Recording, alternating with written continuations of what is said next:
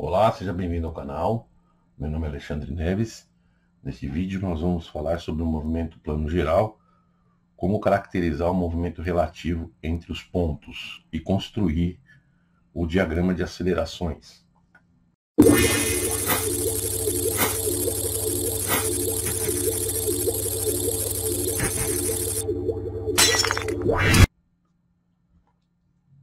Então aqui nós temos um um sistema onde a aceleração do ponto A é de 3 metros por segundo apontando para a direita e a velocidade angular da barra AB é de 4 radianos por segundo no sentido anti-horário. Então aqui eu vou indicar a aceleração de A e já vou indicar também a rotação que existe aí com essa velocidade angular no sentido anti-horário. Então, o nosso ômega, ele está apontando nesse sentido. Dessa forma, nós podemos entender que a aceleração de B, ela está ao longo dessa linha. Da forma como está deslocando aqui, eu vou indicar que a aceleração de B, ela está apontando para baixo. E agora nós vamos fazer a composição desse movimento. Aqui nós temos um caso de movimento plano geral, que seria o deslocamento do ponto A mais o deslocamento do ponto B, com essa velocidade angular. Para isso, o que, nós vamos pensar? Nós vamos pensar que esse movimento ele é igual ao quê? Vou indicar aqui, uma, fazer uma representação dessa barra.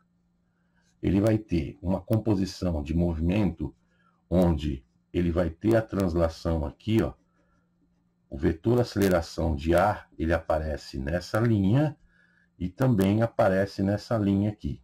Isso vai ser o que? O movimento de translação. Só que nós temos que pensar que existe também um movimento associado, que é o movimento de rotação em torno desse ponto.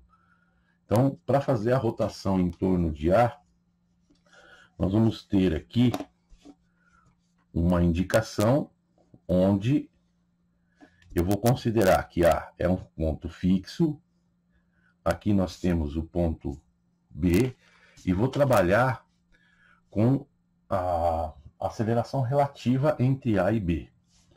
Então, para isso, nós sabemos o que? Aqui nós temos o ponto A, e aqui nós vamos trabalhar com a relativa.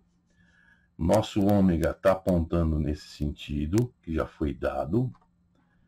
Nós vamos ter que um vetor vai apontar no sentido de B para A, então aqui nós teríamos o ponto B, então vai existir um vetor aqui apontando de B para A, esse vetor eu vou chamar de aceleração de B em relação a A normal.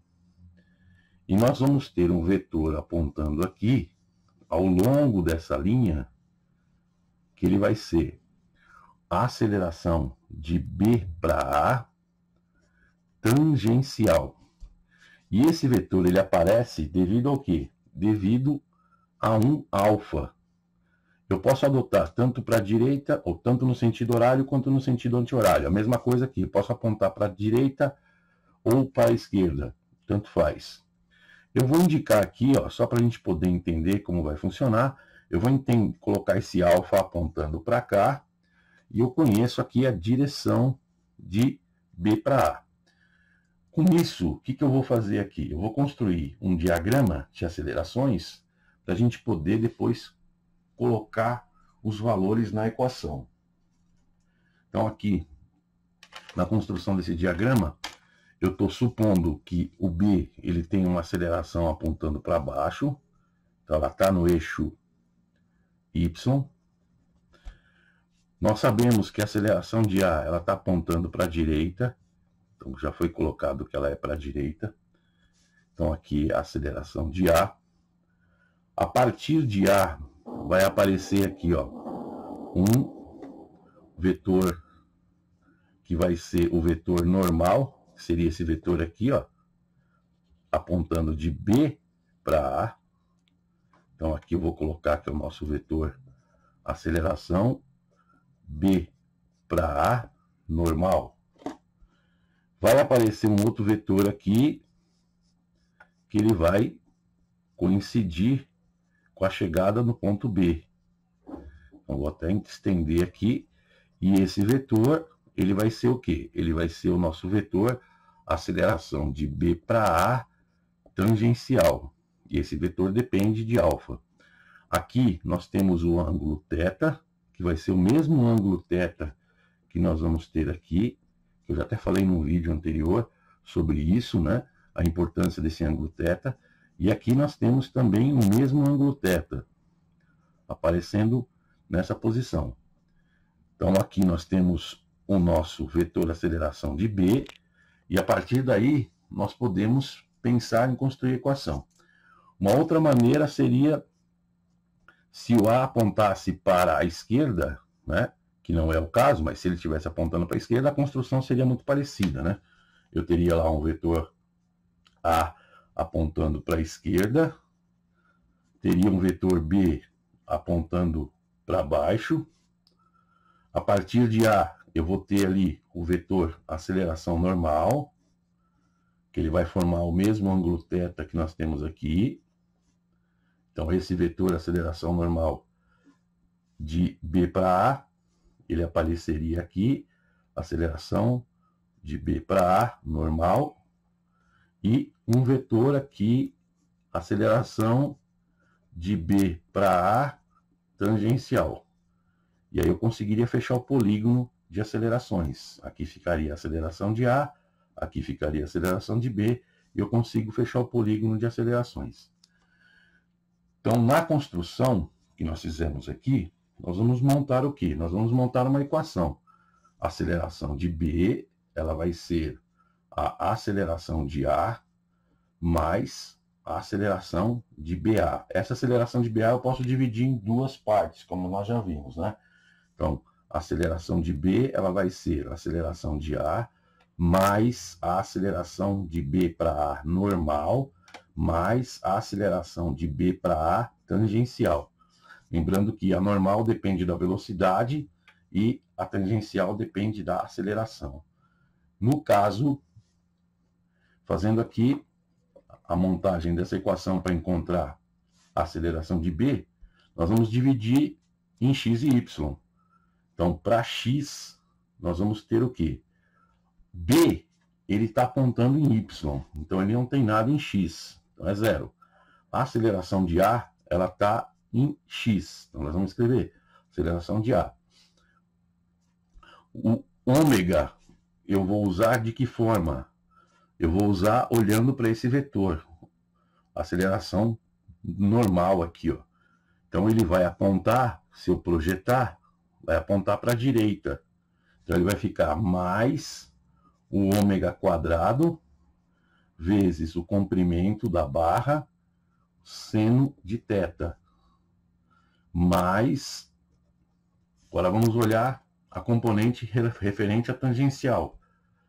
No caso aqui, como nós estamos indicando na tangencial, ela vai ficar apontando para a esquerda. Então ela não vai ser mais, ela vai ser menos, né? Porque eu vou projetar ela aqui, então ela vai ficar menos alfa que eu indiquei dessa maneira, L cosseno de θ. Para y, nós vamos ter a aceleração de B está apontando para baixo, então ela menos AB.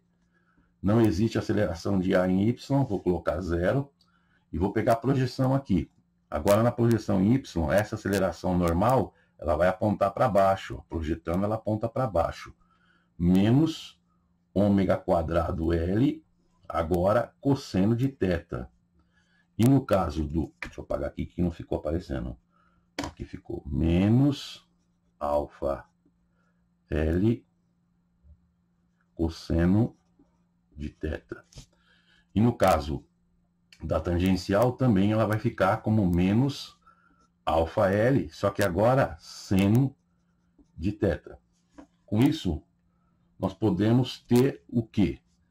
calcular o ângulo θ. Então aqui nós temos seno de θ e cosseno de θ, dá para a gente poder tirar por aqui. Comprimento da barra a gente pode tirar por Pitágoras. É um triângulo 3, 4, 5. Então L vale 500. E nós temos aqui que o ângulo de θ vai ser, seno de θ vai ser o oposto sobre a hipotenusa, então 3 quintos. Cosseno de θ vai ser o adjacente sobre a hipotenusa, 4 quintos. Vamos substituir. Ele deu aceleração de 3 metros por segundo ao quadrado, então nós vamos usar aí, trabalhando em isso aqui em metro, nós vai ficar, nós vamos ter o quê? Em x, 0, aqui 3 metros por segundo apontando para a direita, o ômega foi dado, que é um ômega de 4, então vai ficar 4 ao quadrado, o L é meio metro, vezes o seno de θ foi dado, que é de 3 quintos, então é 0,6, menos o alfa, vezes o L novamente, que é de meio metro, vezes o cosseno, que é de 0,8.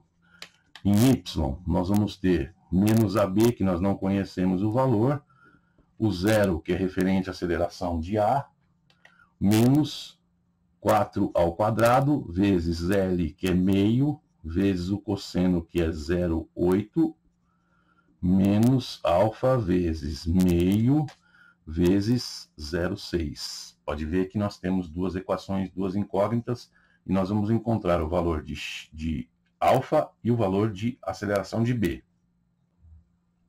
Então, resolvendo aqui, nós vamos encontrar para alfa um valor de 19,5 radianos por segundo ao quadrado e uma aceleração para B de 12,25 metros por segundo ao quadrado.